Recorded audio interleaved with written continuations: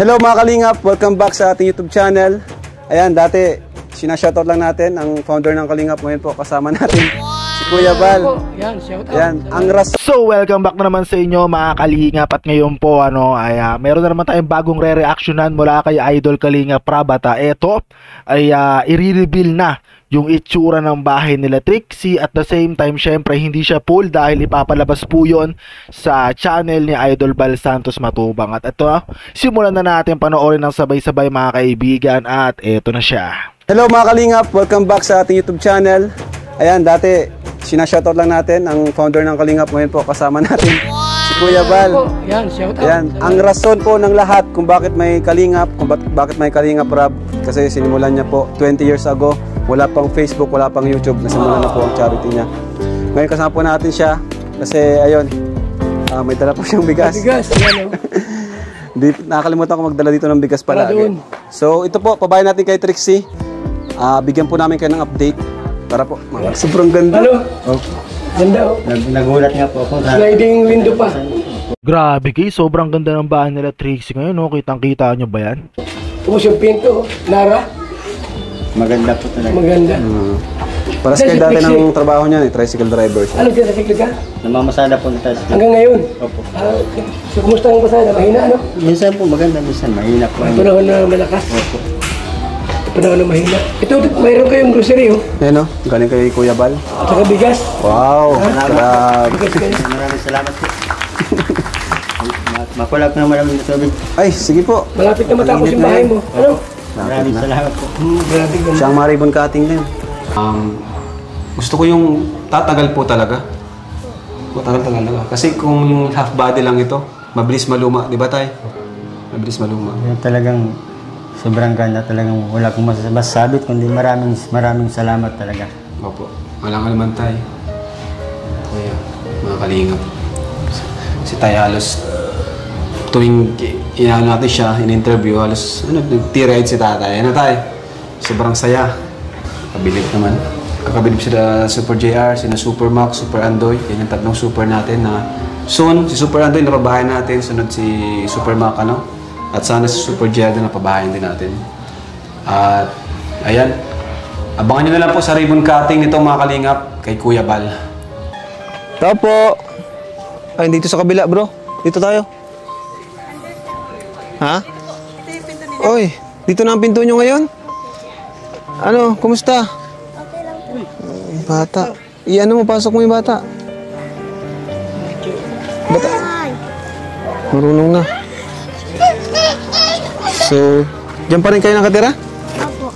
Kumusta naman kayo dito? Okay naman po. Ha? Hindi kayo nainitan? Hindi po. Pero po basta. Basa. Basa nga. Paano dyan? San... Ay, wala tayong pwesto dito, bro. Pwede ba itong buksan? Ayan mo, tingnan mo. Pasok na, Ne! Ne, pasok! So, ito mga kalingap, muli natin nabalikan tong scout ni... Yan. Ito po yung scout ni Vincent, ano? Vincent Calyada. Asa si mama mo, Nadia? Nagtatrabaho po. Nagtatrabaho? Ang ano? Less. Anong doon less? Po, doon po yung sa graduation. Para po souvenir tapos babayaran po yung sa ano sa picture. Oh, galing naman ito ni Nadia, no?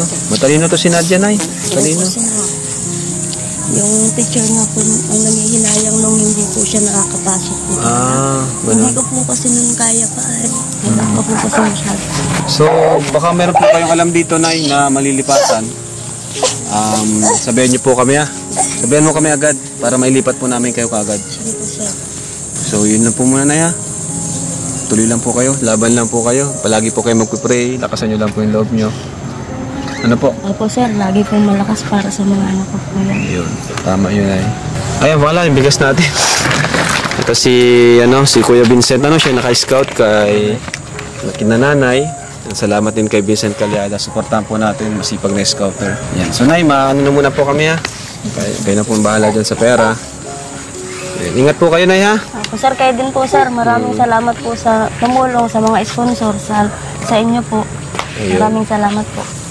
Sabihan niyo po, po kami agad pag may nakita po kayong ano, ah, apartment na pwedeng malipatan. Grabe, naluha si nanay sa biyaya na tanggap niyo. Siguro di mo inaasahan, Nay, no? Hindi po Di mo inaasahan. Hindi po sir. Nadia, Bye-bye po. Salamat po. Oo. Salamat po. Ingat po kayo. Kaya din po sir, ingat po. Ayan, so thank you po, po ulit sa mga nag-sponsor. Thank you so much po. Laking tulong po niyan kila nanay. Tingnan niyo po, naluha siya din niya inaasahan na makakatanggap po siya ng tulong ngayong araw magamit niya po sa pag-aaral ng kanyang mga anak. So maraming salamat po. Ah, God bless po sa lahat. Supportan po natin si Kuya Vincent, Naka Scout, kina Nanay ah, Rosetti, kina Nadia. God bless po sa lahat and Jesus loves you.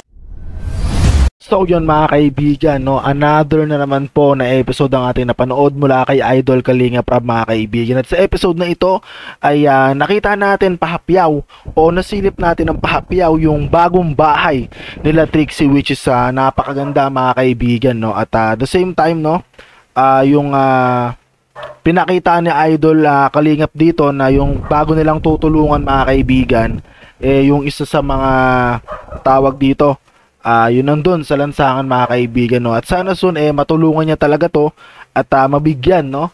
Ng ah, bawa pabahay din kung sakasakali no? Dahil ah, siguro pansamantala babayaran na yung renta ng ah, malilipatan no? Kasi nakita niyo naman mga kaibigan yung pagiging barong-barong nung ah, bahay talaga nila doon sobrang nakakaawa naman talaga.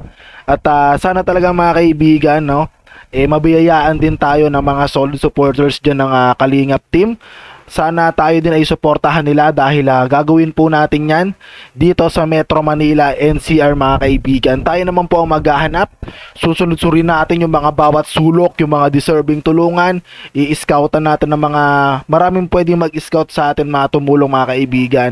At ah, ang kailangan lang po talaga natin ay fans. Kaya sana matulungan nyo ako makaabot ng 100k subscribers sa YouTube at ah, 100k followers sa Facebook para makaipon na po tayo ng fund para masimulan na natin ngayong taon yung ating goal na makatulong no sa ating ah, mga kapwa Pilipino mga kaibigan. At sa mga gustong mag-sponsor dyan, ay feel free naman po na mag-reply o mag-comment no sa ating ah, Facebook page o hindi kaya mag-comment kayo dito sa ating YouTube at ah, agad-agad po namin kayong ah, sasagutin.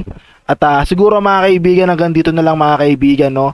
Palagi nyo pong ah, suportahan si Idol Kalinga Prab, si Idol Bal Santos Matubang, at ah, si Ate Edna, at syempre ang buong team Kalingap mga kaibigan, at syempre ako na rin, no? Hindi po tayo magre-react na lang po ng ah, pangmatagalan, no? Pansamantala lamang po ito, dahil gusto ko lang po makaliko muna pansamantala din ng ating fans at syempre magkaroon tayo ng ah, fan base talaga na loyal na susuporta sa atin.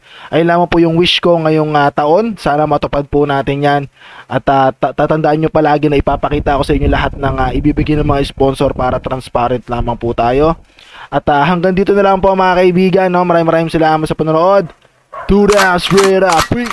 See you on the next reaction video. Let's go. Wiki wiki wiki.